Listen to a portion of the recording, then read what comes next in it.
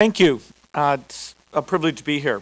Uh, Chairman Gordon, uh, Ranking Member Hall, uh, members of the committee, I'm Bill Gates and I'm the chairman of Microsoft. With my wife Melinda, I'm also the founder of the Bill and Melinda Gates Foundation. And it's an honor to be here uh, to commemorate your 50th anniversary. During these 50 years, incredible advances in science and technology have revolutionized the way people around the world communicate, run businesses, find information, and much more. I'm optimistic that over the decades ahead, information technology will continue to transform business productivity and have a profound positive impact on our day-to-day lives. It will also help us address important global challenges related to education, healthcare, energy, and other issues. Many of the key advances of these 50 years were pioneered by researchers working in U.S. universities and for U.S. companies. U.S. preeminence in science and technology and this nation's unmatched ability to turn innovation into thriving business have long been the engine of job creation and the source of our global economic leadership. I know we all want the U.S. to continue to be the world center for innovation, but our position is at risk. There are many reasons for this, but two stand out. First, U.S. companies face a severe shortfall of scientists and engineers with expertise to develop the next generation of breakthroughs. Second, we don't invest enough as a nation in the basic research needed to drive long-term innovation. If we don't reverse these trends, our competitive advantage will erode. Our ability to create new high-paying jobs will suffer. Addressing these issues will take commitment, leadership, and partnership on the part of government, private, and nonprofit sectors. Let me start by saying that business has a critical role to play. The private sector must contribute to building a workforce that has the skills to innovate and compete. That's why Microsoft is committed to improving educational quality and encouraging young people to study math and science through programs like Partners in Learning which has reached more than 80,000 teachers and 3 million students. Nonprofit organizations also have an important role to play.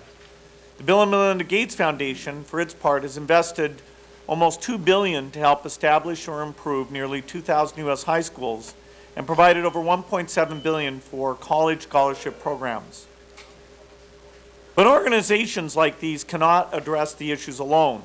Only government has the resources to effect change on a broad scale. If this nation is to continue to be at the global center of innovation, Congress, the current administration, and the next president must act decisively. It starts with education. Today, graduation rates for our high school students and their level of achievement in math and science rank at the bottom among industrialized nations. 30% of ninth graders and nearly half of African Americans and Hispanic ninth graders do not graduate on time. Fewer than 40% of high school students graduate ready to attend college. As a nation, we must have a fundamental goal that every child in the U.S. should graduate from high school prepared for college, career, and life. To achieve this, we need metrics that reflect what students learn and the progress they make. Such metrics may be difficult to develop, but they provide the essential foundation for deciding which programs best improve outcomes in our public schools.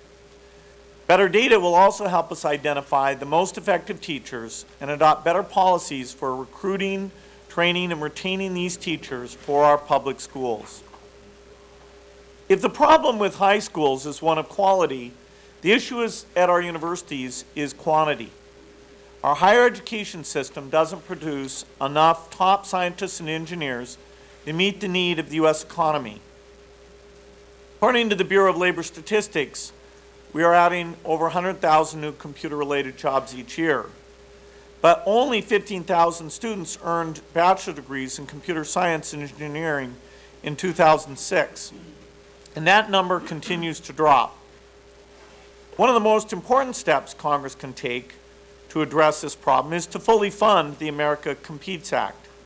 Introduced by this committee, this act would significantly increase funding for the National Science Foundation's graduate fellowship and traineeship programs. As bad as the disparity between supply and demand looks, these numbers understate the severity of the problem. Today, our university computer science and engineering programs include large numbers of foreign students.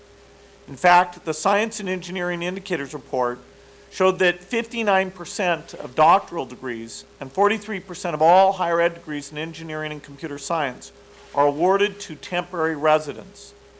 But our current immigration policies make it increasingly difficult for these students to remain in the United States. At a time when talent is the key to economic success, it makes no sense to educate people in our universities, often subsidized by U.S. taxpayers, and then insist that they return home. U.S. innovation has always been based in part on the contribution of foreign-born scientists and researchers. For example, a recent survey uh, conducted by several universities showed that between 1995 and 2005, firms with at least one foreign-born founder created 450,000 new U.S. jobs. Moreover, as a recent study uh, shows, for every H-1B holder that technology companies hire, five additional jobs are created around that person. But as you know, our immigration system makes it very difficult for U.S. firms to hire highly skilled foreign workers. Last year at Microsoft, we were unable to obtain H-1B visas for over a third of our foreign-born candidates.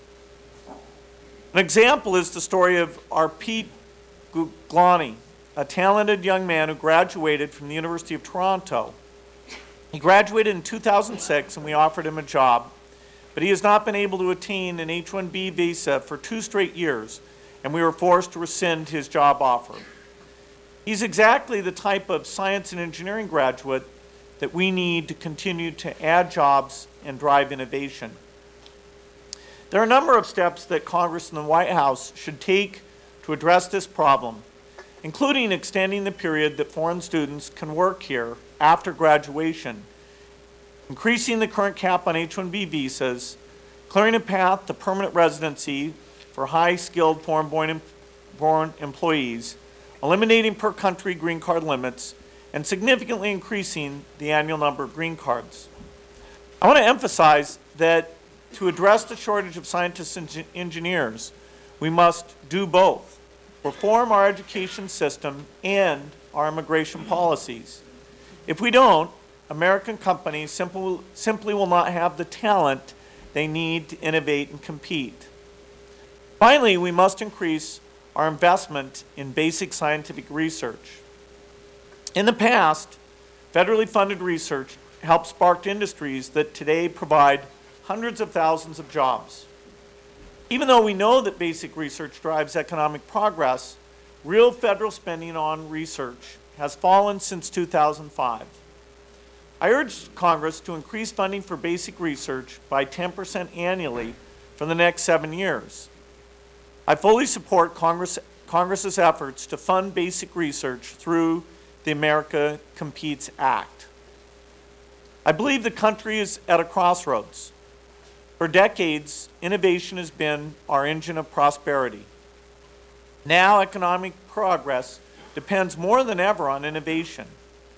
Without leadership from Congress and the President to implement policies like those I've outlined today, and the commitment of the private sector to do its part, the center of progress can shift to other nations that are more committed to the pursuit of innovation.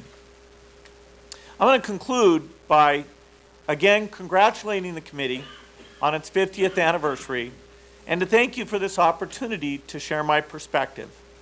I'd be happy to respond to any questions you may have on these topics.